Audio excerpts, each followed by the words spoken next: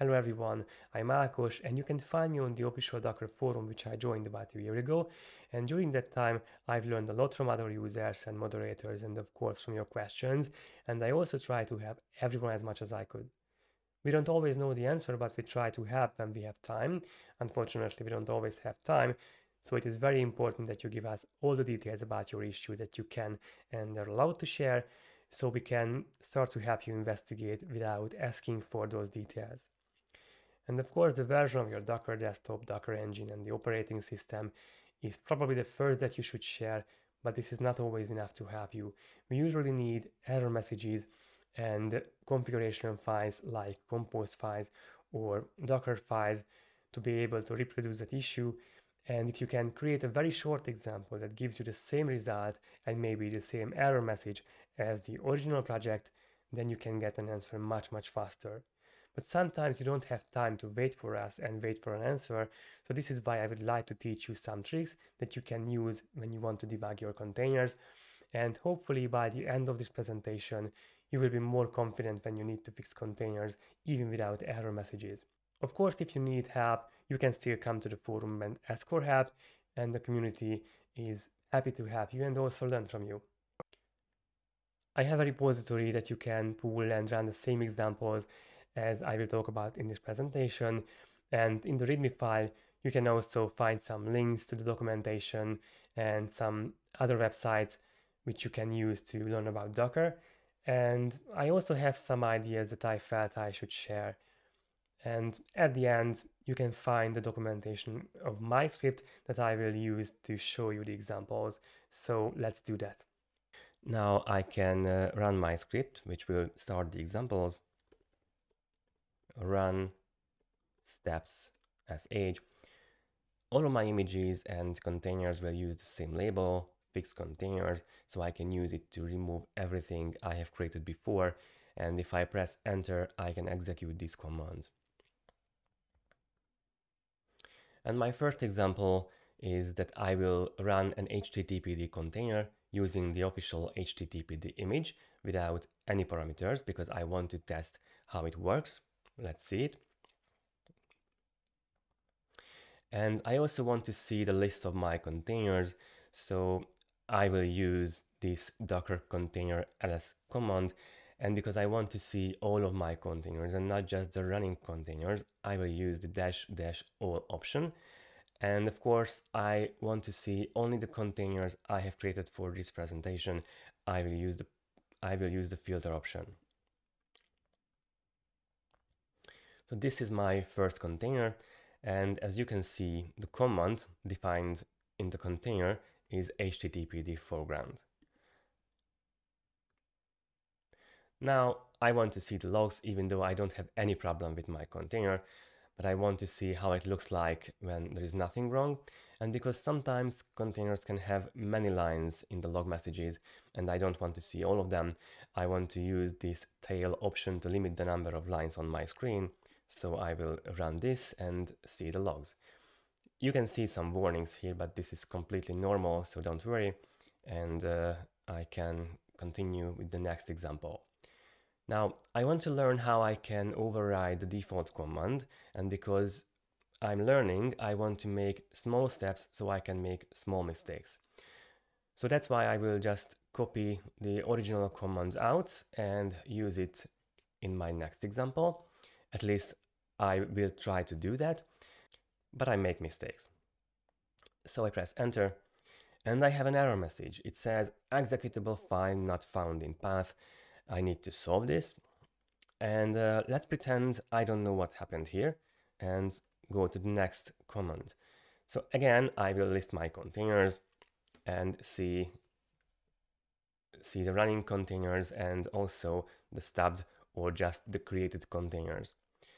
And the first container was running, but the second is not running. It is just created. So let's try to solve this. If you have some problem with your command inside a container, you can just run an interactive shell. For example, run a bash inside that container and uh, try to investigate manually. So I will just run a bash shell here in my HTTPD container and copy the command out into my container and use http default ground without the d at the end. And now I realize what my problem was because this error message is much shorter than the previous error message was. Okay, I can type exit and go to the next example. I want to learn more about this httpd foreground command, so this is why I will use that dash h option to see the help of that command. Let's do that. This is the help, and I will find an option that I can use, for example, this log level, and I will set the log level. And of course, I have read the documentation of HTTPD, so I know which log level is valid and which is not. And I will use this trace 8 to see the trace logs. I have my container again. And again, I list my containers. And now I have three containers and uh, the last container is running. I'm happy again. Everything is fine, but I still want to see the logs. It looks like I managed to set the log level, so I have my trace logs here. Okay. But then I want to repeat it, maybe next day or, or later. And uh, sometimes I'm tired and uh, again I make mistakes. So I will just run it and let's see what happens. It looks like my container was created and uh, I list my containers again and now I can see that uh, this container was exited.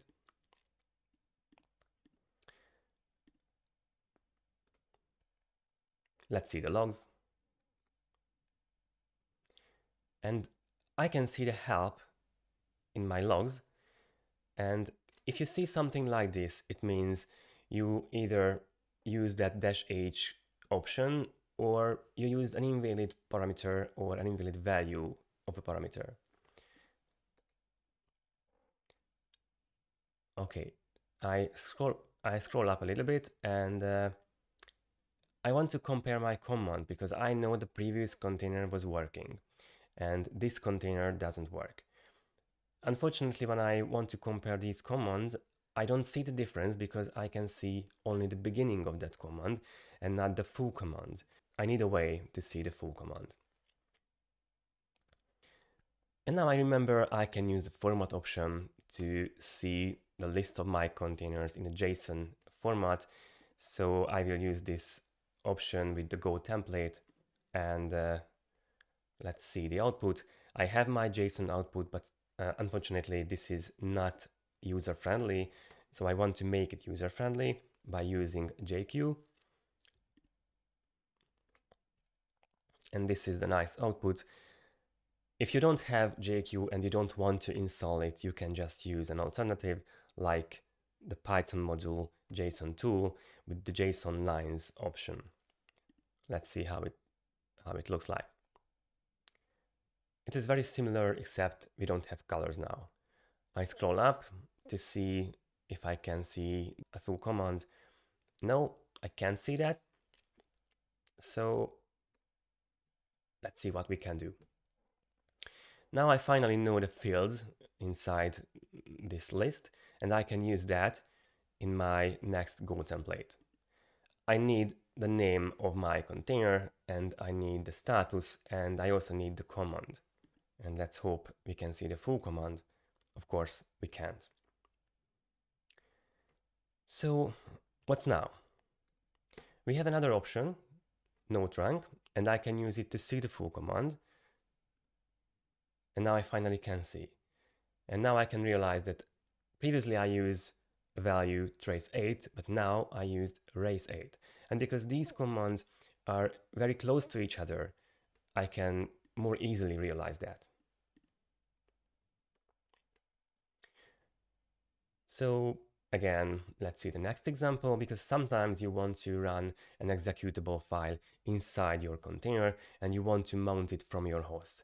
Of course, usually it is a better idea to create an image and uh, run an image, run a container from that image. But now I just want to mount this executable and this is an entry point. In this case, I need to make sure that the permissions of that file is right and I have an attempt to set it.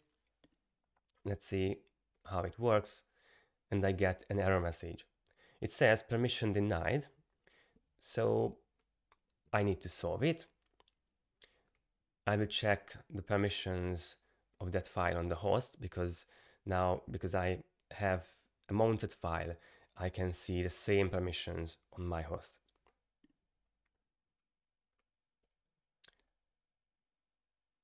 As you can see, there are no X's here in the list of permissions. So this is the problem. I need to fix this. I will use another chmod command and uh, let's try if it works.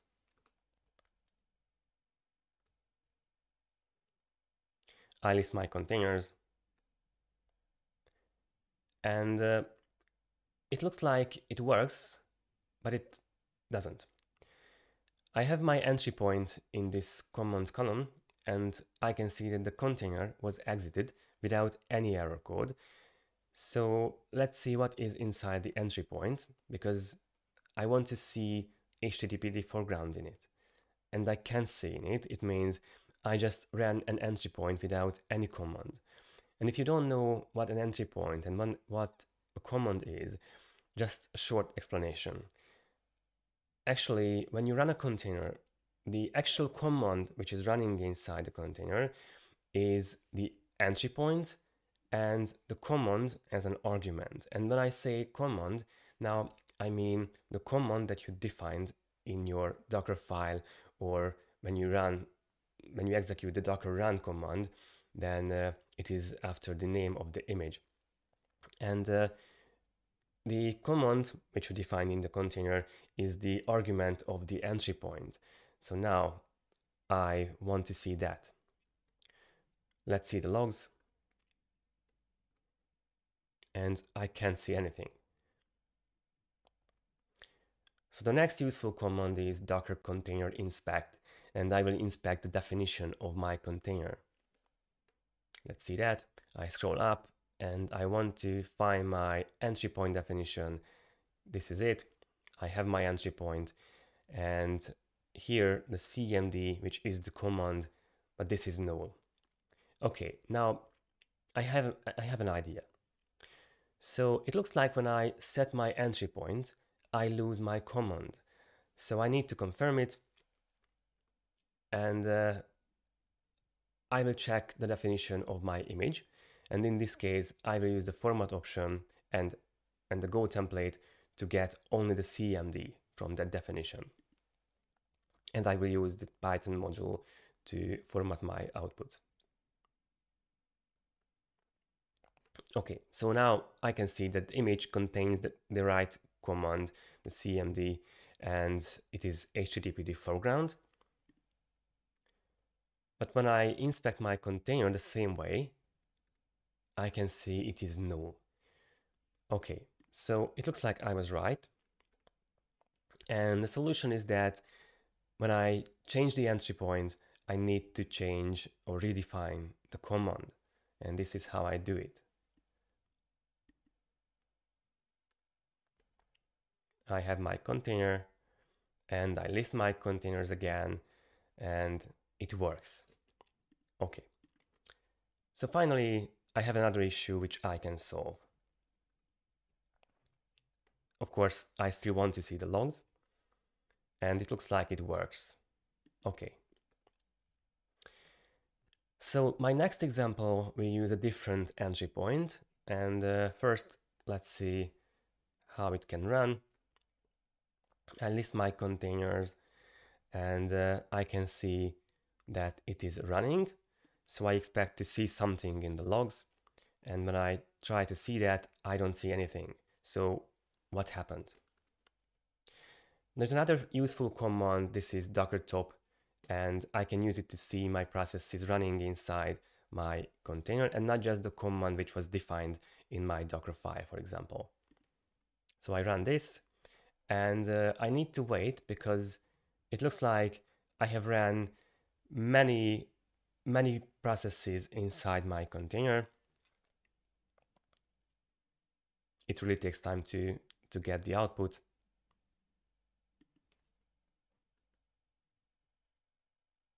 I have it. It means I probably ran this recursively, so I immediately need to kill my container to, to avoid using all of my resources on my machine. I run docker kill to kill my container, and remember, this doesn't mean I will remove my container, I will just kill it, which means I immediately stop it. And then I want to see the list of my containers, but in this case, I want to see the sizes of my containers because even though I, I can't execute any command inside my container because this is not running, I can still copy the content out of that container. So let's see the sizes because I want to make sure that this is not something like one terabyte or similar sizes. And uh, it looks like it is small enough so I can safely copy it out. I have enough space. Okay, now I will create a temporary folder and use docker cp to copy the content out.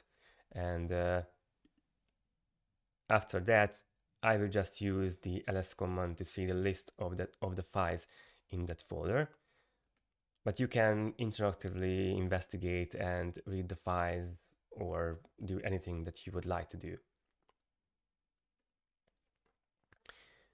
Of course, I don't really need to copy everything out because I know there is an image and a container and the container has its own layer. Everything uh, what changed in the container I can see with this command docker container diff.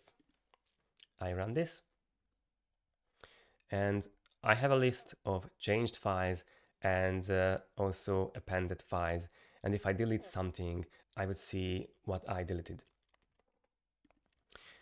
Okay, I have an appended file entry point and I have one changed file. This is the httpd file and everything above it is just the parent folders. So now I can copy this file out, not everything, just this file. I will again use docker cp and after that I want to read the content of that file. But because this file can be a binary file, and I don't want to see binary content on my screen, I can use hexdump to read the first 100 bytes of that content in hex code. Let's do that.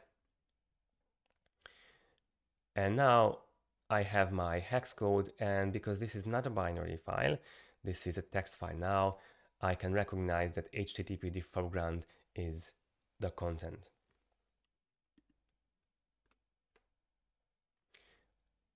And sometimes I want to browse my files on my container file system, even if my container is not running. And in that case, I can use docker inspect to get the path of that folder, which I can see. And uh, I will do that and I will use cd to get into that folder. At least I will try it. And then I want to run find command to list the files in that folder. It doesn't work because I have Docker desktop. I use my Mac and uh, if I have Docker desktop, then I have a virtual machine and everything is running inside that virtual machine. So in that case, I can't access the folders from my host.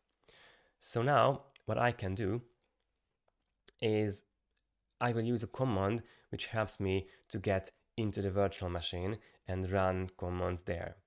And this is the power of the community because years ago, Justin Cormack, the CTO of Docker, created a Docker image which you can use to get into the virtual machine. And then later, Bret Fisher, Docker captain, created a gist on GitHub and explained that image and uh, added some other commands as well. And this is not the end of the story, so stay with me.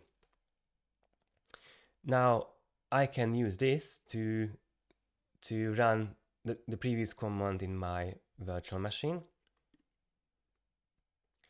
And I can see similar output to the previous diff output, except I can see the letters at the beginning of the lines. Okay. Now I can use hexdump in my in, in the virtual machine of Docker desktop. And let's see the content. Of course, this is the same as I have seen before. Let's see the entry point and find out what went wrong. So it turns out I've wrote the command into that HTTPD file, but if I just wrote HTTPD foreground into HTTPD, then it will just run recursively because HTTPD foreground will call HTTPD and then HTTPD will call again HTTPD foreground so HTTPD foreground will call HTTPD again. So the solution is obviously removing this line or just using another path and not an existing file. So now you can you can fix your containers, but what if you have a Docker build and you have an error message during the build? Now I will use Docker build command and uh, I will set the progress option to plain because if I have BuildKit, then uh, I can't see every command I run in this build process. I can only see the current running command and I want to investigate so I will run this command with progress plain to see everything. Okay, let's build my image and uh, I have an error message again, no such file or directory. So let's investigate.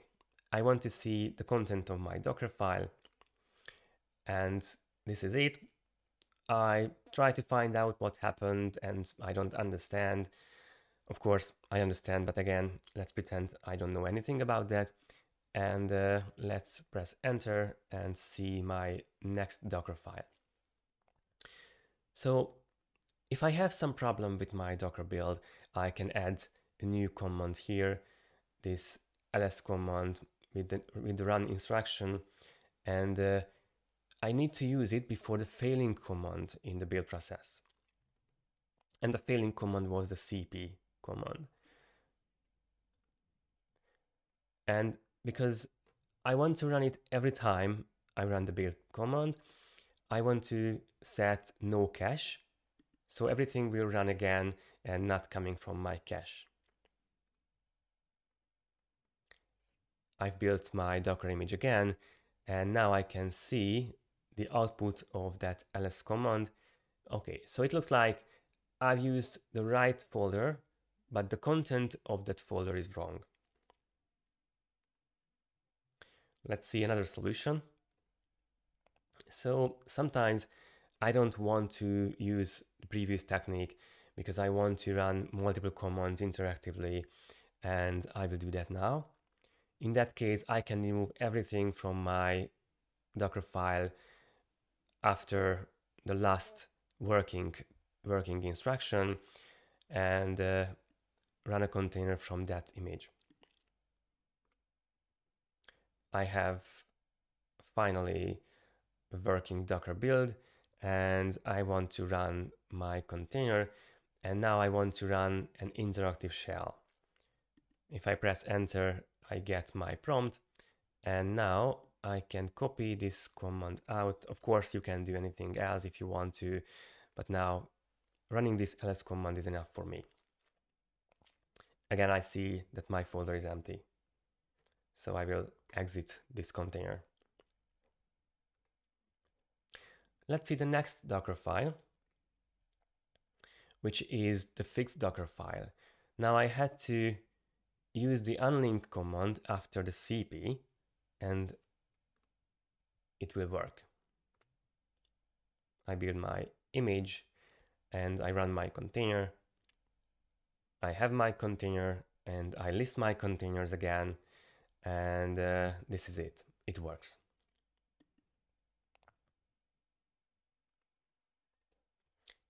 Of course, I want to see the logs and I see that everything is right.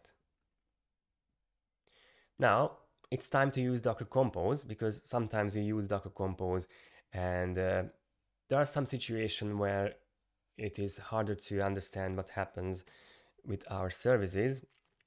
So let's start it and uh, list my services, Docker Compose services using Docker Compose PS.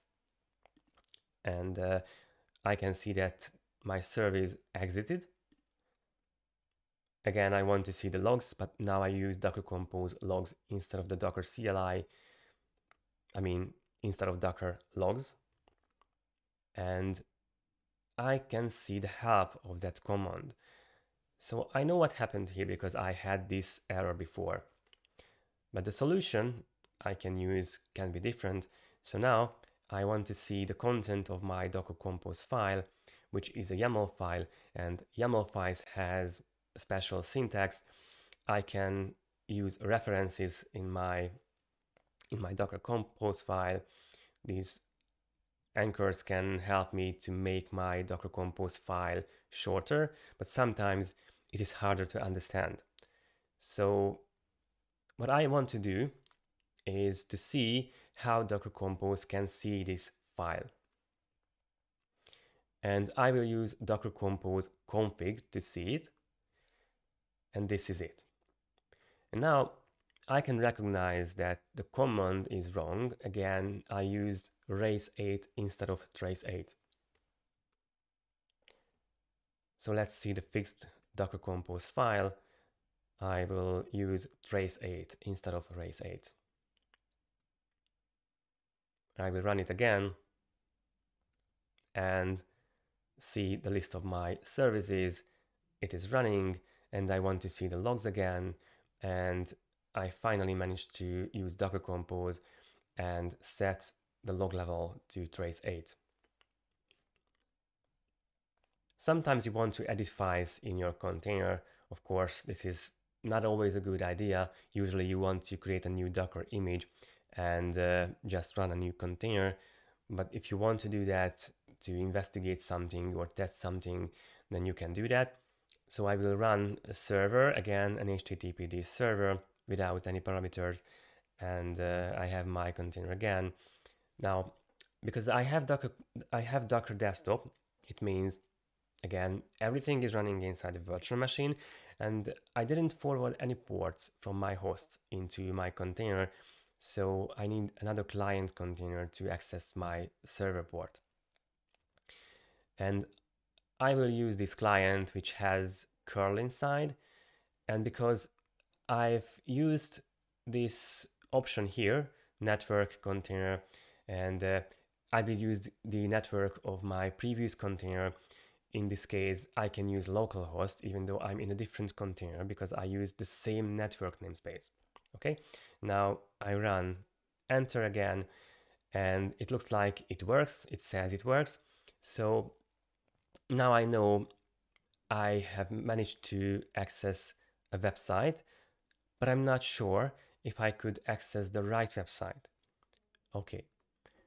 So now I want to edit that content to see if if I can edit it and I can change it, then probably I will see a different content when I try to access that port again.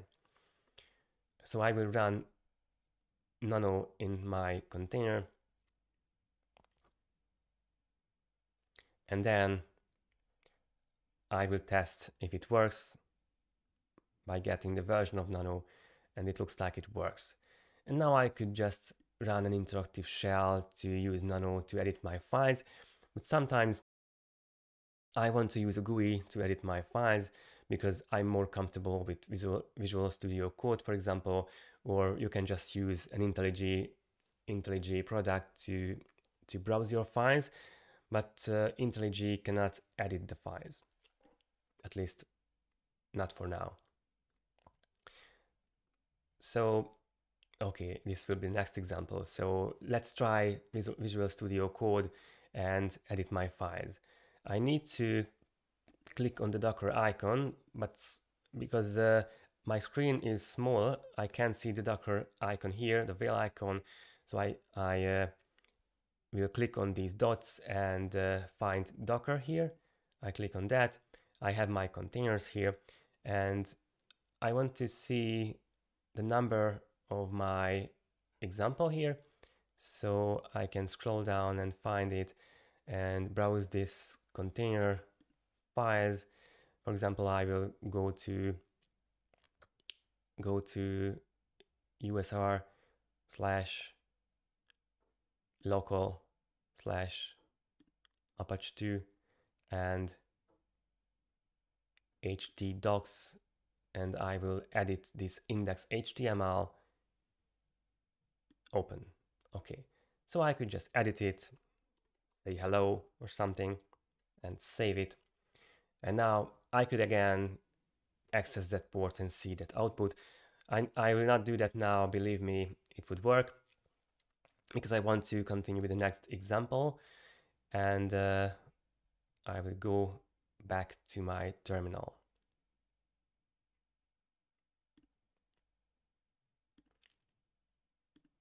Okay. So now I have a very long command which I will run now. I have already talked about Docker Desktop and how you can run commands inside the virtual machine of Docker Desktop, but this command is confusing even for me. So let's run it and then I will explain what happens. Okay, so basically I've ran a container inside my virtual machine, the virtual machine of Docker Desktop, and in that container I used nsenter to get out of that container into the virtual machine.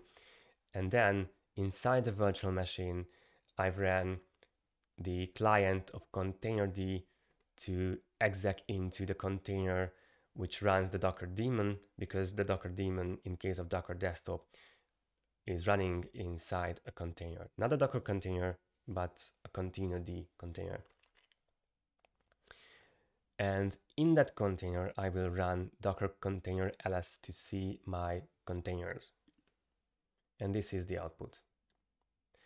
Of course, it doesn't really make sense, but it is useful to understand how Docker Desktop works. Okay, so now, again, I thought about the power of the community, and this is the end of the story, because when I read Bret Fisher's posts on GitHub, I've read the comments, and uh, this command, which I will use now, was in one of the comments. So now I finished all of my examples, but now I can copy this command out here. And I'm inside the virtual machine. I can use commands like ls or anything. Of course, I can't use this docker command because there is no docker inside this virtual machine at least not the way you expect it to be. So I, I could use the CTR as I used it before, like, like this.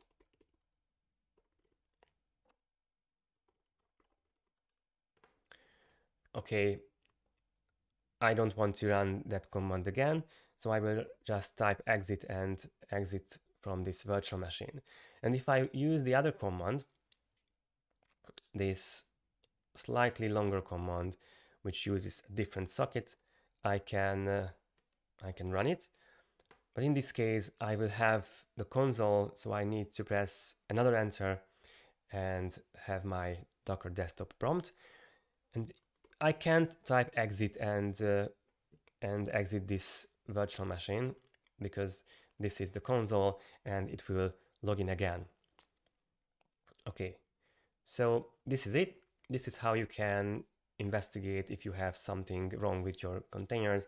You can now use Docker Compose to, to see the actual YAML file that Docker Compose sees, and you can now get into the virtual machine.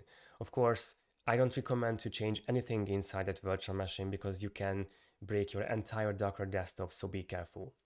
If I want to close this terminal, I can just close the whole terminal window. Thanks for watching. And if you have any question, just come to the forum and we can try to help you.